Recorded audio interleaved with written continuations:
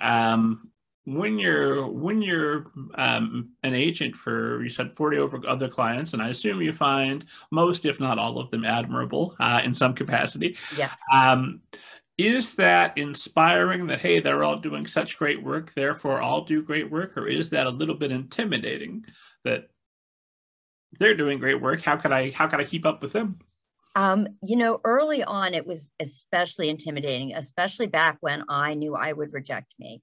Um, it was I, I really there were many days where i felt well these authors are so amazing so amazing. I mean my my clients i i've taken them on because i feel that they're just brilliant amazing people. I thought i am just not worthy. I am never going to be worthy to stand among them. I don't deserve you know i'm just not good enough um, and I could have quit. I could have. And there were days that there really were days that I felt like it. I thought this is hard. And am I ever going to get there? But I, it meant too much to me to quit. I've been writing since I was 11.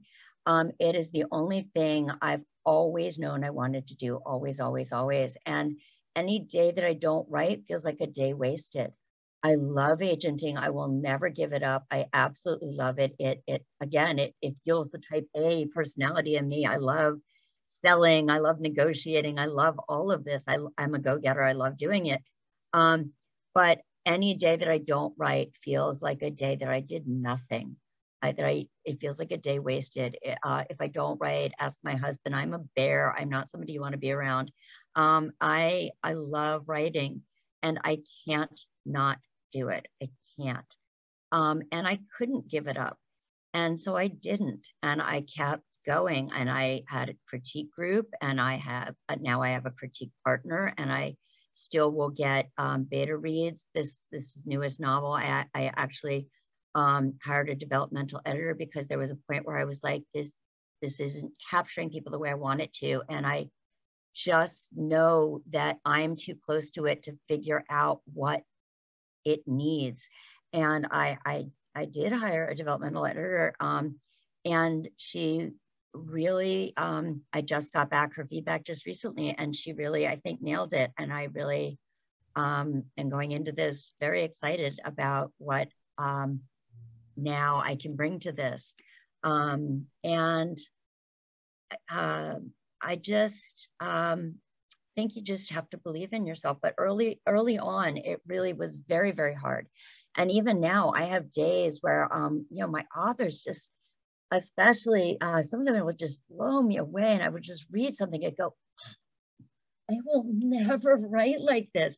But the, the thing is, I don't have to. I am never going to be um, this person or that person. And you know what? I shouldn't be. There shouldn't be another this person or that person. I'm not going to name names, although um, I certainly could, but I don't want to single anybody out and leave anybody out either.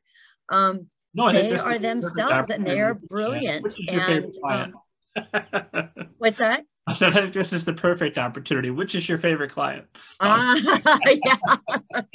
I am not going to go down that. Uh, um, but um, no, but my authors are singular and brilliant and wonderful voices, and and they should be. And hopefully, one day I will be a singular and wonderful voice.